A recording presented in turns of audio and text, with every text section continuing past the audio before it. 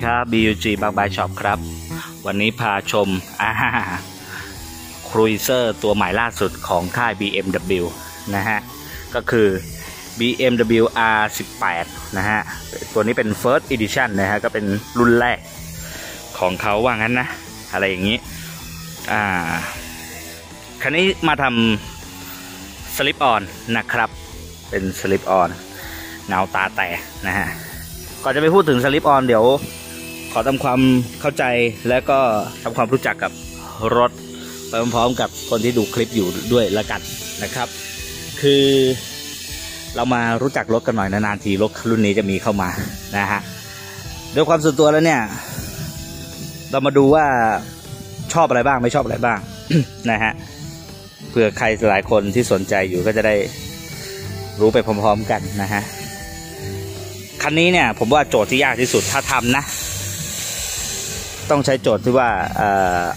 ทำยังไงให้สวยขึ้น ผมดูแล้วมันลงตัวไปหมดแล้วนะฮะจริงก็ไม่ค่อยต้องทำอะไรนะฮะแต่ที่ก็เปลี่ยนแฮนด์นิดหน่อยสำหรับคนที่อยากได้แฮนด์กระเช้านะฮะอะไรอย่างเงี้ย ผมชอบเครื่องเครื่องสีเทาตัวนี้นะ เป็น ตรงนี้มันมันดูแบบดูคลาสสิกดีนะครับ แล้วตัวนี้ก็เป็นคีย์เป็นดำๆนะ ตัวนี้ใหญ่มากนะฮะหัวสสูบเขาอ่านี่อีกอย่างหนึ่งที่ชอบนะฮะตัวนี้คือเกียร์ถอยเขานี่เกียร์ถอยอ่ากดปั๊บแล้วมันก็จะถอยหลัง ตัวนี้อีกสูบวีหนึ่งก็คือฮาร์เลย์เนี่ยเขาจะไม่มีนะอ่าที่จริงควรมีนะรถเขาใหญ่กว่านี้อีกฮาร์เลย์รูปร่างรถค่อนข้างเตี้ยนะครับ ขาถึงสบายสบายนะสำหรับคนที่สนใจ แรงเหวี่ยงของรถเวลาสตาร์ททุกคนรู้กันดีเวลาขับเครื่องบ็อกเซอร์นะของเจ้า BM เนี่ยมันจะเหวี่ยงนะมันจะเหวี่ยง แต่ตัวนี้ก็เหวี่ยงเยอะกว่าเดิมนะ แต่ว่าก็โอเคนะ ผมว่ามันโอเค อยู่ในระดับที่รับได้เพราะด้วยรถมันเตี้ยนะฮะ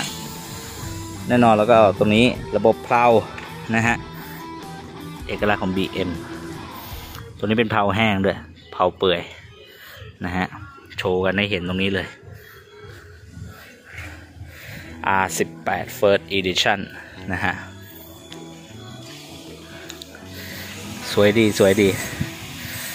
นี่ ไฟหน้า ไฟหน้าเขาบอกว่าเลี้ยวเลี้ยวตามไม่นี่ได้นะ เวลาเรา control เนี่ย ไฟหน้าจะเอียงได้อีกนิดหนึ่งอะไรอย่างเงี้ยถังก็สวย ตรงนี้เป็นเส้นแฮนด์เมดนะ เห็นเขาว่าเป็นการเขียนมือ เขาไม่ได้แถมเบาะมาให้นะ จริงๆ แล้วก็ดูทรงแล้วถ้าใครอยากได้เบาะซ้อนหรืออะไรนี้ต้องเป็นออปชันเสริมที่ซื้อแล้วกัน ตัวนี้น่าจะเป็นรูรูพักเท้านะ พักเท้าคนซ้อนแน่ ๆ เลยนี่โดยรวมแล้วรถค่อนข้างสวยงามนะครับ ไม่รู้จะหาตำแหน่งติตรงไหนนะฮะ ถ้าเป็นตำแหน่งเดียวที่ทุกคนต้องรับให้ได้ถ้าซื้อ BM ก็คือตรงนี้เลยนะฮะ Mid Control และไม่สามารถเป็น Forward Control ได้ด้วยนะครับ ตรงนี้ไฟบังคับมากนะฮะ ทุกคนต้องยอมรับให้ได้ ถ้าจะขับตัวนี้นะครับ ลองนั่งให้ดู ลองนั่งให้ดูนะเออเนี่ยเห็นไหมกระดกนิดนึงเนี่ย ยกขานิดนึงก็จะโดนเสื้อสูบแล้วนิดเดียวเองนะฮะร้อยเจ็ดสิบร้อยแปดสิบนี่นั่งได้สบายนะ ก็ไม่ได้แบบว่าย่นเท้าอะไรเยอะแยะ แต่มันขยับยากไงขยับไม่ได้แบบว่า เวลาเราจะยืดเส้นยืดขาอย่างเงี้ยนะ เพราะว่าไฟมันบังคับนิดนึงประมาณนั้นนะ โอเคอะทีนี้เรามาดูเรื่องท่อกันบ้าง นะครับ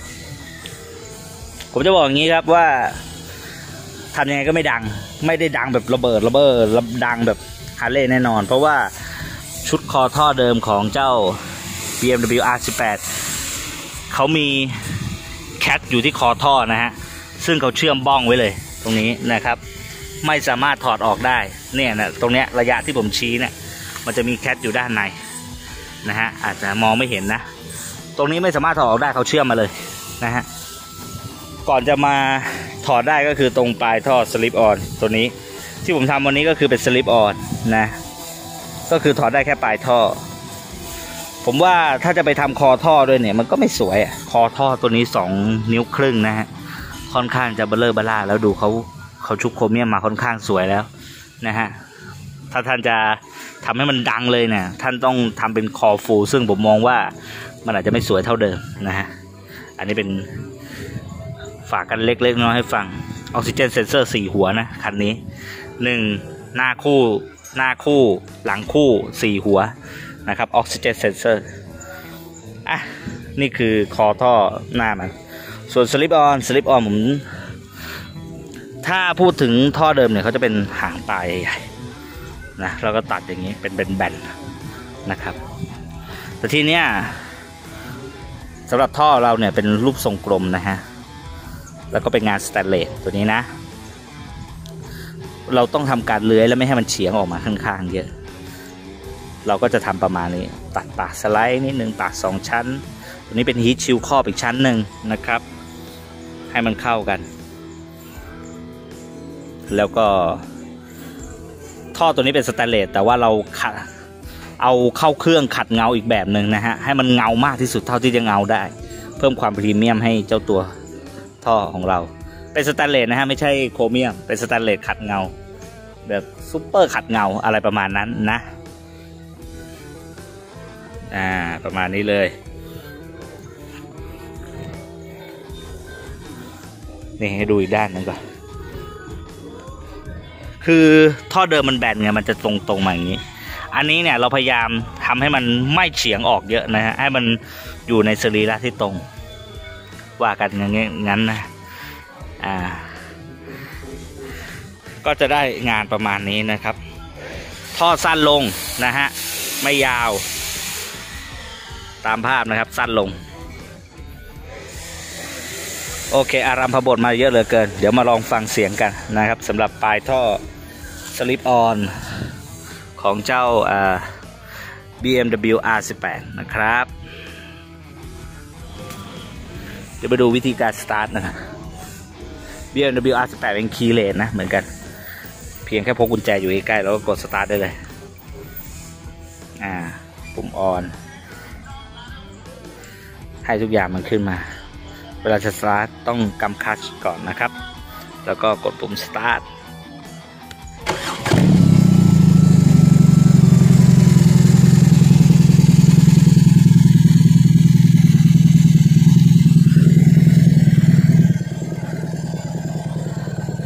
สำหรับคนที่ไม่ชอบเสียงที่ดังนะ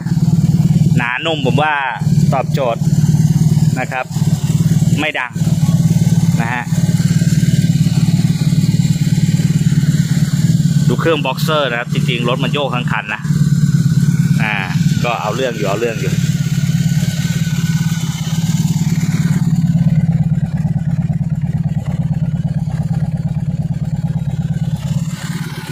มามาฟังเปิดคันเร่งกันหน่อย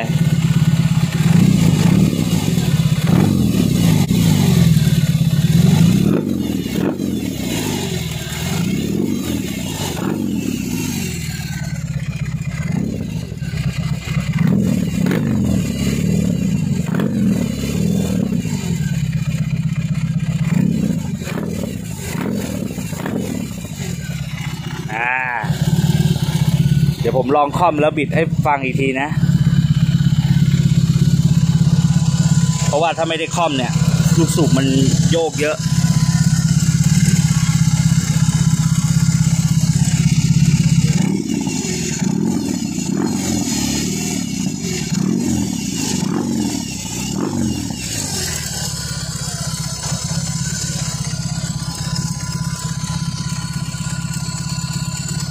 ขาตั้งมันอันนี้เดียว นะฮะเสียวเหลือเกิน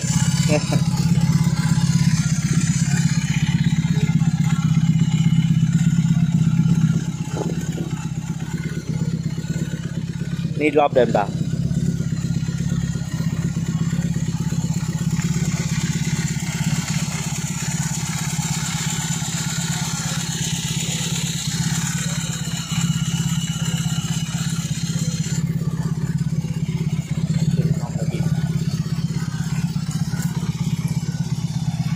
ดี๋ยวผมจะลองขึ้นคล่อมแล้วลองบิดดูนะครับว่าใส่เกียร์แล้วเสียงมันจะเป็นยังไง ลองดูนะฮะ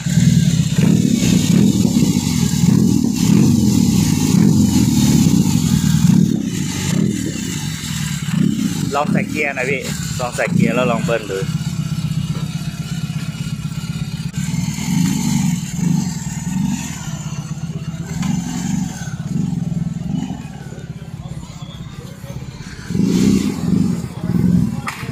ก็นิ่มๆนะฮะเงียบๆไม่ดังมาก ถ้าใครไม่ชอบดังก็คงจะถูกใจนะครับ ประมาณนี้แหละสำหรับ BMW R18 นะฮะถ้าจะทำดังกว่านี้นะฮะไม่มีทางอื่นเลยนอกจากทำท่อฟูนะฮะเพราะฉะนั้นเนี่ยใครจะทำก็ลองเข้ามาคุยดู แต่ผมอะชอบคอเดิมมันมากกว่านะครับถ้าเทียบกันนะ อ่า เสียงก็ประมาณนี้ครับ โอเค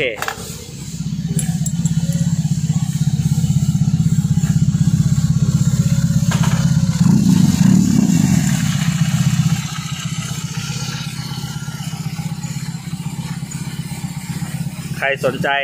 หรือว่าใครขับรุ่นนี้อยู่ ลองดูนะครับ เป็นตัวเลือกสำหรับสลิปออนปลายท่อนะฮะ สนใจก็ทักทายกันมาได้ทุกช่องทางนะครับ โอเค คลิปนี้ลาก่อน สวัสดีครับ